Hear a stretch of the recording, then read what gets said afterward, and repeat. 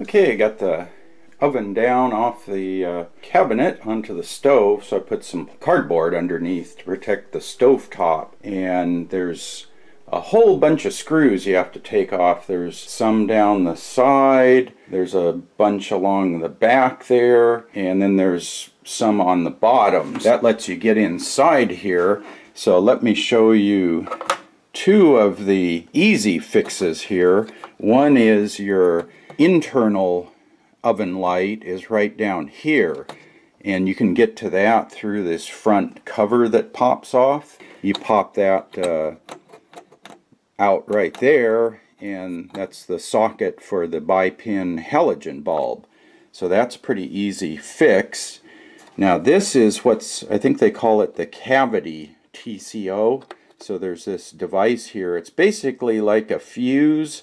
It senses the heat. This is the outgoing air when you're using the oven feature and I guess the idea is that this senses the outgoing air temperature, and if the air temperature gets too hot, this thing is supposed to blow open.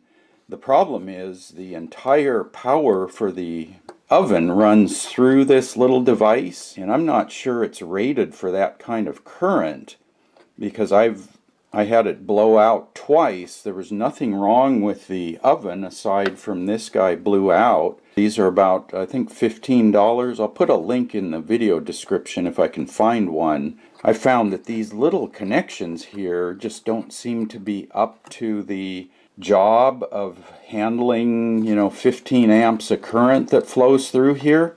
And so this thing gets hot because of the current flowing through it not because of the temperature, because when it's blown out, I could feel in here and it wasn't hot at all. This one, again, is a one-time use. Once it blows, your whole oven is dead.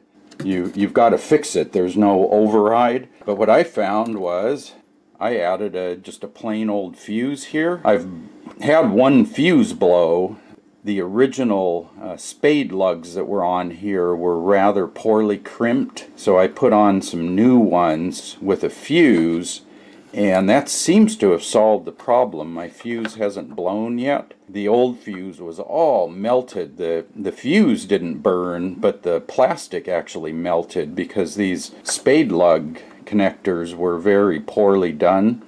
So I've replaced that and so far I haven't had any trouble and I just have left that like that. Your mileage may vary. You can buy a bunch of these.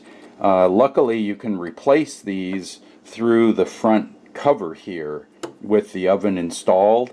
It's a little tight squeeze. You got to work with your fingertips in there and there's a little screw you've got to unscrew.